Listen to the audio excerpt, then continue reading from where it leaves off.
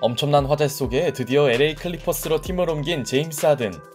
하든과 웨스트브룩이 또다시 재회한 것은 물론 보기만 해도 가슴이 웅장해지는 빅4 라인업이 결성되었습니다. 이래저래 이번 시즌 가장 관심받을 팀이 탄생한 가운데 오랜 기다림 끝에 제임스 하든의 클리퍼스 데뷔전이 열렸습니다. 동부 원정을 떠난 클리퍼스의 오늘 상대는 뉴욕 닉스. 과연 하든을 비롯한 클리퍼스 빅4의 첫 경기는 어땠을까요? 경기력만큼이나 터란 루 감독의 로테이션도 관심을 모은 가운데 made되지 않았지만 하든은 벌써 빅맨 조련사의 모습을 보여줍니다. 상대 수비의 틈을 파고든 제임스 하든의 멋진 A패스. 이 무렵 뉴욕은 랜들과 배럿이 특유의 야투 난조를 노출하고 있었고 하든은 또다시 주바치와 깔끔한 two-man 게임을 전개합니다.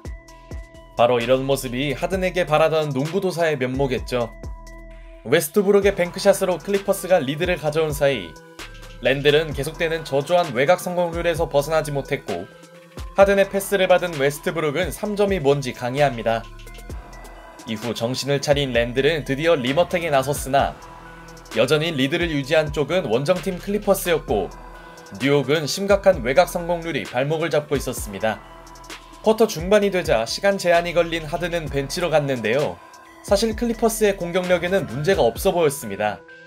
뉴욕은 마침내 살아난 랜들의 골밑 공략으로 경기력을 회복했지만 웨스트브룩은 곧바로 유려한 스텝에 이은 레이업을 시전했고 플럼리의 완벽한 cut-in 패스는 레너드의 덩크를 만들어줍니다. 건강하다는 전제하에 클리퍼스에는 득점할 선수가 차고 넘치네요. 그리고 다시 들어온 하든은 상대의 오펜스 파울마저 뜯어냅니다. 열심히 수비하는 하든 약간 낯선 광경이네요. 다만 클리퍼스도 뉴욕만큼이나 외곽 성공률은 시원치 않았고 일단 1쿼터는 클리퍼스의 2점차 리드로 마무리됩니다. 그리고 2쿼터가 되자 레너드와 폴 조지는 모두 휴식을 취하는데요. 이것이 가능한 이유는 역시 제임스 하든이 있기 때문이었습니다. 하든에게 바라는 점 중 하나는 세컨 유닛을 이끄는 활약이었고 그는 클리퍼스에서의 첫 득점을 jumper로 기록합니다. 아직 손발이 맞지 않는지 턴오버가 나오기도 했지만 뉴욕 또한 안일한 플레이로 실책을 한 건 마찬가지였고 레너드와 조지가 빠지자 하든은 득점 모드를 가동합니다.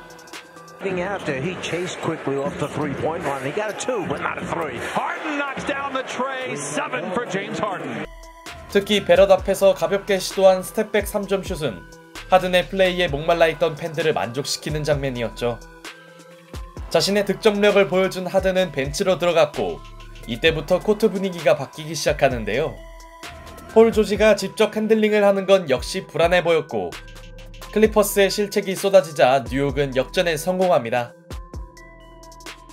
웨스트브룩이 들어왔지만 여전히 그들의 경기력은 삐그덕거렸죠. 원정팀의 턴오버 관리는 심각한 수준이었고 랜들의 슈팅까지 살아난 뉴욕은 격차를 벌려갑니다. 결국 클리퍼스가 믿을 건 득점으로 찍어 누르는 것.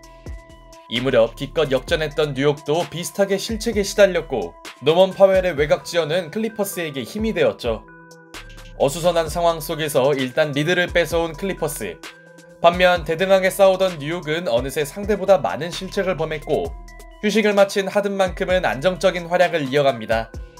전열을 정비한 클리퍼스가 점점 달아나는 동안 전반전 뉴욕이 기록한 실책 개수는 무려 10개, 클리퍼스의 전반 경기력도 꽤나 삐걱거린 걸 감안하면 뉴욕이 조금만 정신 차렸다면 전반을 앞선 채 마쳤을 텐데요.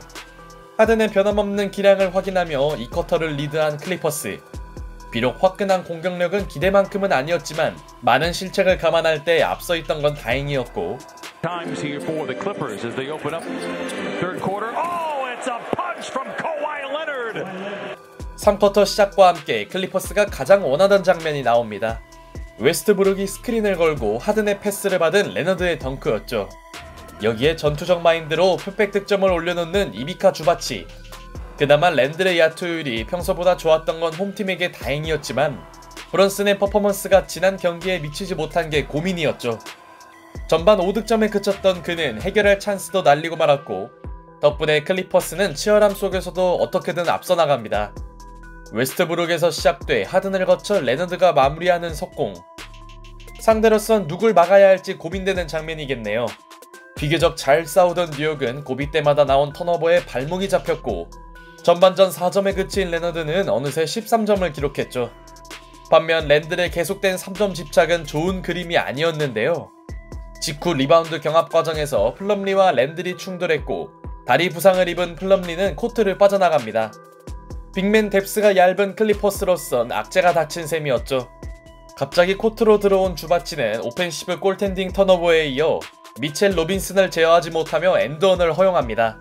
예상치 못한 변수가 경기 흐름을 바꾸고 있었고 들쭉날쭉하던 랜들의 슈팅은 뉴욕의 4점 리드를 가져왔죠. 브런슨의 부진을 메워주는 랜들의 활약, 이건 좀 귀하네요. 이후 PJ 터커를 기용한 클리퍼스는 랜들을 어느 정도 제어했고 특히 체면을 구겼던 주바치의 블록은 의미 있는 장면이었습니다. 연이어 블록당한 랜들은 소극적인 패스로 턴오버를 범했고 분위기 수습을 위해 나온 하든이 floater를 올려놓더니. Oh, he knocks it down. 14 for. 어수선했던 클리퍼스를 잡아준 선수는 제임스 하든이었습니다. 별 힘도 들이지 않고 무심하게 3점을 터뜨리는 하든. 그가 14점을 올리는데 필요한 야투는 단 8개였죠. 그러나 하든의 분전에도 불구하고 뉴욕은 리드를 지켰고 하일랜드가 handler로 나온 라인업은 실책만 쏟아냅니다. 눈 깜짝할 사이에 7점 차로 도망가는 뉴욕 닉스. 이것은 시작 이래 가장 큰 리드 폭이었고 이 장면 또한 원정팀의 부주의한 패스에서 시작된 순간이었죠. 참고로 뉴욕의 턴오버 기반 득점은 무려 27점이었습니다. 반대로 클리퍼스 입장에선 최대 위기였는데요. 그러자 하든이 숨겨왔던 자신의 필살기를 가동합니다. 디빈첸조를 상대로 자유투 3개를 뜯어내는 하든. 티보드 감독의 챌린지 신청은 실패로 끝났고 빅4 중 가장 꾸준했던 제임스 하든은 자유투 3개를 모두 made합니다. 하지만 뉴욕은 원정팀이 꺼내든 small 라인업의 높이를 공략했고 좀처럼 두 팀의 간격이 줄어들 기미가 보이지 않자 터란루 감독은 주전 선수들을 꺼내드는데요. 그럼에도 불구하고 뉴욕은 주도권을 놓치지 않았고.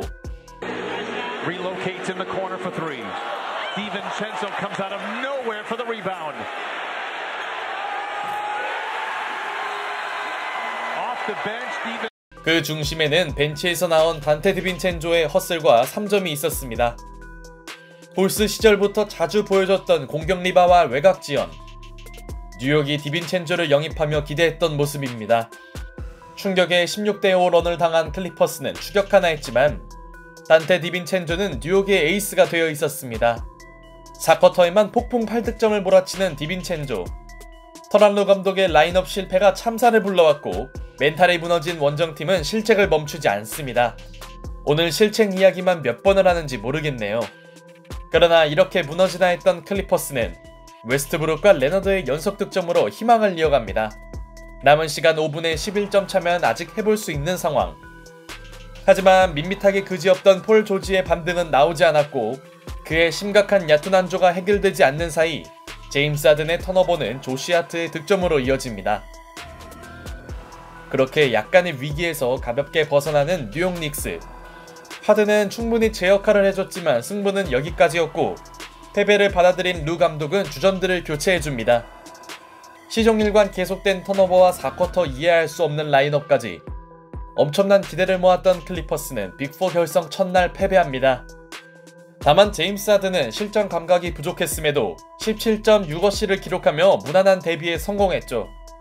과연 다음 경기에서는 기대에 걸맞는 화력을 과시할 수 있을까요? 그들의 다음 일정은 하든이 몸담았던 브루클린 원정입니다.